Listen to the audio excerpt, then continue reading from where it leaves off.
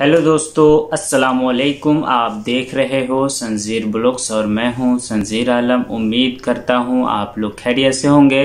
तो आज का जो वीडियो है, इस वीडियो में आपको हम बताएँगे कतर की अच्छी खबर, जिससे आप लोगों को भी तसल्ली होगा, ताकि आने वाले वक्त में ऐसा नहीं हो सकता है, जो बात आगे बताने वाला हूँ।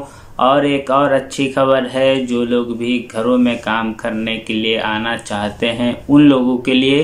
तो चलिए वीडियो को स्टार्ट कर लेते हैं। आपको बता दें, जो लोग भी अभी तक नहीं चैनल को सब्सक्राइब किए, उनसे रिक्वेस्ट है, चैनल को सब्सक्राइब कर दे, बेल आइकन दबा दे, ताकि आपको फ्री में नोटिफिकेशन मिलता रहे। और हमने आज एक वीडियो अपलोड किया है, जिसका लिंक डिस्क्रिप्शन में मिलेगा। आप उस वीडियो को वॉच कर सकते हैं। उस वीडियो में हमने बताया है किन किन देशों के लिए जो फ़्लाइट है इंडिया से आना बंद हो गया है और इंडिया से फ़्लाइट नहीं आ रहा है। किन किन देशों के लिए उसमें क्लियर करके बताया। प्रूफ के साथ ऐसा नहीं है। सुनने, इधर सुना, उधर सुना वाली बात नहीं होती है। इस चैनल पर आपको वही बात बताई जाती है जो किसी भी सरकारी ट्विटर अकाउंट है। वहाँ से आया हो। तो चलिए आज का वीडियो स्टार्ट कर लेते हैं। सबसे पहले आपको बता दें कोविड नाइन्टीन का क्या स्थिति है? कतर के अंदर पिछले सात दिनों में आज है संडे। संडे में हर संडे संडे यहाँ पर जो वीकली अपडेट होता है वो किया जाता है। तो चौदह लाख पंद्रह हज़ार सात सौ इकसठ लोगों को अब तक कतर में कोरोना का वैक्सीन दिया जा चुका है। पिछले हफ़्ते में एक लाख सड़सठ हज़ार पाँच सौ बत्तीस लोगों को दिया है। अभी तक कतर के अंदर परसेंटेज की बात करें तो उनतालीस पॉइंट नाइन परसेंट लोगों को वैक्सीन ली है, जिसमें से बहुत सारे लोगों को एक डोज मिला है। आपको आगे बताऊँगा कितने परसेंट लोगों को दोनों डोज मिल चुका है। और आपको बता दें, अभी कतर में जितने भी आबादी है, उसमें से तीन लोगों में से एक लोगों को वैक्सीन मिल चुकी है। तीन लोगों में से एक लोगों ने वैक्सीन ले लिया है और अभी तक कतर के अंदर पाँच लाख सात हज़ार सात सौ तैतालीस लोग दोनों डोज वैक्सीन के ले चुके हैं और इनका जो परसेंटेज बनता है 22 यानी बाईस पॉइंट थ्री परसेंट लोग हैं जिन्होंने वैक्सीन के दोनों डोज ले लिए हैं। इन ये लोग अभी फाइट कर सकते हैं कोरोना से। और जो लोग भी घरों में काम करने के लिए आना चाहते हैं, जिनका कोई भी यहाँ पे जो वीडियो देख रहे हैं, उनका अगर कोई जान पहचान वाला है, जो घरों में काम करने के लिए आना चाहते हैं तो अब वो आ सकते हैं, क्योंकि ये रूल गवर्नमेंट के तरफ़ से लागू कर दिया गया है, इमिग्रेशन डिपार्टमेंट के तरफ़ से। सो, घरों के लिए वीज़ा चालू है, मंगाया जा सकता है।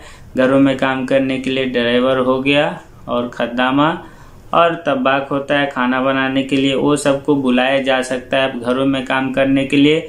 और इस पे आज से कतर का जो वीज़ा सेंटर है इंडिया में, उस पे काम होना भी चालू हो गया है।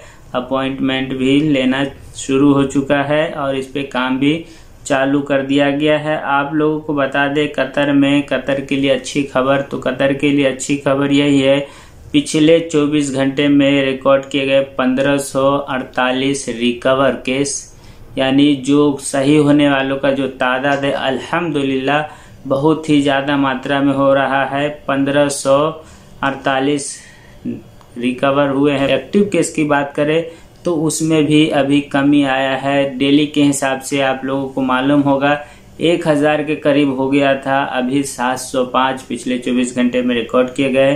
टोटल हो चुका है बीस हज़ार दो सौ इक्यावन, बाईस हज़ार से ऊपर चला गया था। अभी बीस पे आ चुका है। दस लोगों की मौत हो गई, यही अच्छी खबर नहीं है थोड़ी सी क्योंकि मौत का जो आंकड़ा है वो कम नहीं हो रहा है। और जो कुल तादाद हो चुका है चार सौ अट्ठाईस, बाईस लोग आईसीयू में गए। इसमें भी कमी आया है, पर जो एक्टिव अभी आईसीयू में है, उसमें थोड़ा कम कमी है। चार सौ इकतीस है जो हॉस्पिटलाइज है, उसमें भी अब कमी देखा जा रहा है। सेवेंटी नाइन लोग हॉस्पिटलाइज हुए हैं। एक हज़ार चौरासी लोग अभी हॉस्पिटल में मौजूद है और टेस्ट किए गए पिछले 24 घंटे में दस हज़ार एक सौ बत्तीस लोग। रिकवर अल्हम्दुलिल्लाह, अल्लाह का शुक्र है अच्छा है। और कुल तादाद हो चुका है एक लाख इक्यासी हज़ार पाँच सौ बाईस रिकवर वैक्सीन दिए गए बीस हज़ार नौ सौ अस्सी लोगों को। तो कतर से यही अच्छी खबर है कि जो रिकवर का तादाद है, ये अच्छा है और जो कोविड का जो एक्टिव केस है, उसमें भी कमी आई है और जो रिकॉर्ड किया जाता है 24 घंटे में, उसमें भी कमी देखा जा रहा है। तो अगर ऐसा ही रहा तो इन जितने भी पाबंदी है, जल्द से जल्द उठा ली जाएगी। तो दोस्तों, आज की थी यह वीडियो। अगर वीडियो आपको पसंद आए तो वीडियो को लाइक कर दे। अगर पहली बार चैनल पर आए हो तो चैनल को सब्सक्राइब कर दे। Thank you for watching